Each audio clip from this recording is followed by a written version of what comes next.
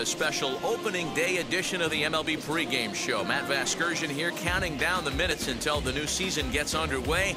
And before it does, we'll check out our first Topps player spotlight. Gerald Hayden looks to capture that same magic he had a year ago when he had the highest batting average in the National League. What do you think about his chances to repeat a batting title? You know what, Matty? I don't know. Look, I know it's going to be difficult to earn a repeat batting title. Look at some of the names of the guys who have done it. Some of the games elite. Gwynn, Hornsby, Honus Wagner, Stan Musial. Look at the last guy to go back-to-back, 98-99, Larry Walker. That's the kind of elite, elite player you got to be to repeat as batting champion. All right, lineups and first pitch are coming up next. Stay tuned for that right here on the show.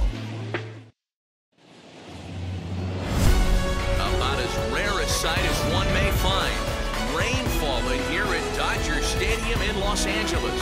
Opening day is here as we get the new season underway with a good matchup between the San Diego Padres and the Los Angeles Dodgers. Hi again, everybody. It's finally here. Welcome to our special opening day edition of Baseball on the Show. I'm joined by Mark DeRosa and Dan Plesac. The staff for these two teams sure to be a focal point as this series moves along. Just like any team, pitching is going to be a key factor for this ball club as the year plays out. I'm sure the staff will have its ups and downs, but if they can pitch like they can, I think this team's going to be pretty successful. The game's count starting now. It's opening day. It's the show. And it's coming up next.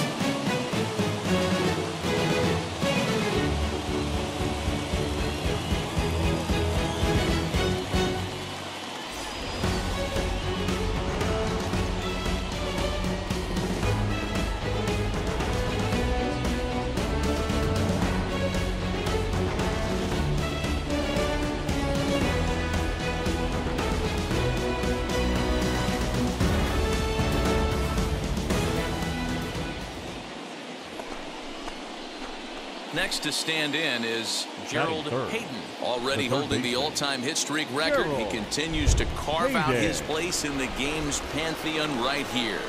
You know, Matty, whatever happens in this guy's career, regardless whether he becomes a superstar for 15 years or fizzles away, this mark will always stand. It will always be something that other players chase. Children will learn about it in textbooks. This guy has certainly etched his place in this game's history.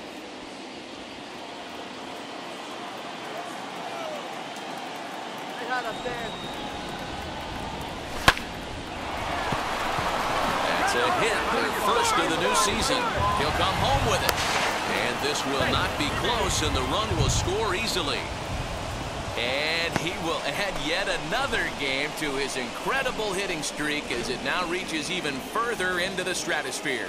You know, Dero, I don't know if this thing's ever going to end. This guy's been raking now for almost two months, and he's swinging the bat just as good now as when this streak started to start it off with his first base hit. Yeah, it, do it, doesn't seem like he's coming out of it anytime soon. I wonder the pitcher that would create such a tough matchup for this guy to shut him down because he's playing with the big part of the field. He can beat you in so many different ways, and this number's getting just straight ridiculous. So he ran the fastball by him for the punch-out. Robert Hassell becomes the first out of the inning. That is it. The catcher, number five. And a fastball swung on and missed as he just reared back there. Two away. Got him with a good high fastball there. Danny, we see a lot of that pitch in strikeout situations these days. What makes it so effective? I think, Matt, what makes it such a tough pitch is you're changing eye levels. That fastball up looks so enticing to hit that you think you see that ball as a hitter. Do You think you can drive it, but it's really hard to get on top of that good high hard fastball. Frank. Here's the 1-1. A bouncer to the left side. He's got it. Throw to first in time, and the big inning is avoided as the side is retired. Friars forced to settle for just the one. We'll move on to the bottom half of inning number one. It's the Padres one, the Dodgers coming to bat. You're watching Major League Baseball on the show. Digging in next, Edward Perez. The center fielder, Hedberg. One out, nobody on.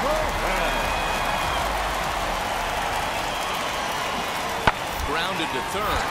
Scooped up. And there's out number two.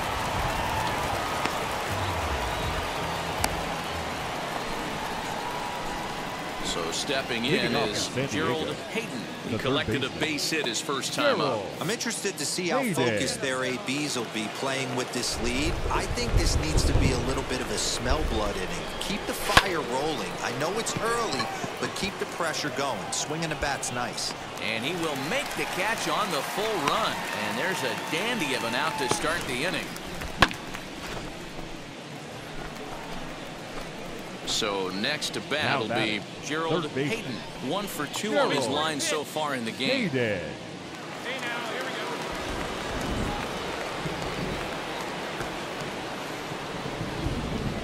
From the stretch, here's the pitch. In his career, Hayden is, get this, slugging over 700. That's a number almost unheard of, so if you can help it, don't miss any of his at-bats. That gets down, he's got himself a base hit. And that'll bring home run number three. It's now a 3-nothing cushion. Hey, with that base hit right now, the lead's 3-0. And the way their pitcher's going, Dero, that might hold up in this one. Yeah, and you're well aware of it, Dan, as an offense, just trying to put those extra runs across the board. You can take a look at the guy on the slab, telling the slab he's on fire right now. now. The Robert, Robert Hassell digging in now. Hassell. He doubled earlier in the game, one for two to this point. Offered at and missed. Here's the throw. Not in time. He's in there at second. Certainly a very close play at second on that bag. So let's analyze it with show track. We all know he's got plus speed on his side, and you really see it represented in the top speed. That really made the difference on that one. So next to hit is Korey Lee. Oh Over 2 for him to this point. The 1-1 home. And the runner's breaking for third. Broken bat as this ball's hit on the ground. The First is in time, but meanwhile, the runner is in to score.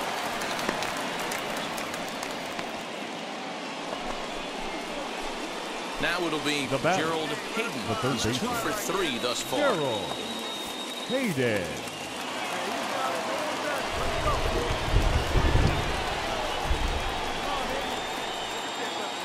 And now the first pitch.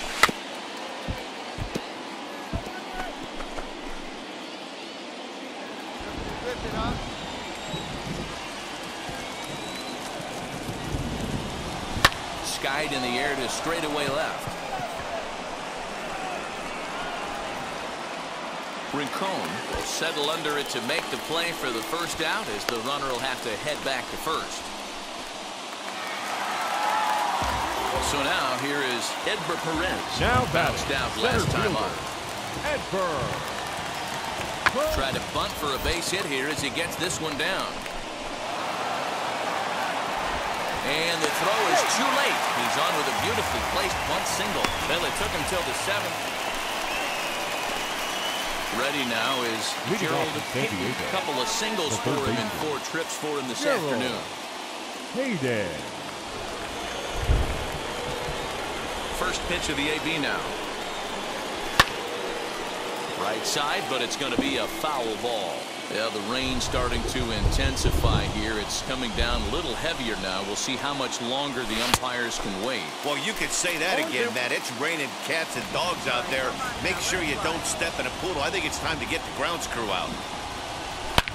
Sliced hard on the ground. And the recovery won't be in time as he'll beat the throw to first. Hey, that's a heck of an approach right there. Leadoff single in the late innings. Team's down a little bit. Let's see if this ends up being a huge turning point in this one.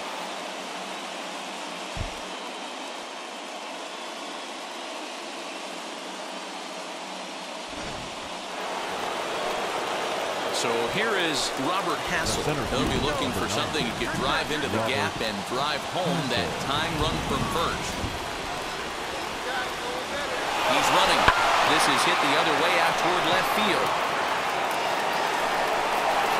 Rincon comes in a few steps as he hauls it in for the first out. Korey Lee digging in now. 0 for 3 with an RBI in this one. Korey Lee. And there he goes towards second. Swing and a miss right three. The throw is going to be far too late. That's a stolen base. So he can't make contact there on strike three, but meanwhile the runner on first takes second here with two men away. So here now is Ty France. They're going to work on getting that tying run home from second. San Diego down to their final strike. Struck him out, so he'll strand the possible tying run at second, and a great job of working out of trouble as this ball game is over. A one-run finish today, five to four, the final score. The Los Angeles Dodgers jumped ahead in the seventh inning and never gave the lead back. Ronaldo Lopez claims the win out of the pen his first. Garrett Crochet hammers down the save his first of the year. So that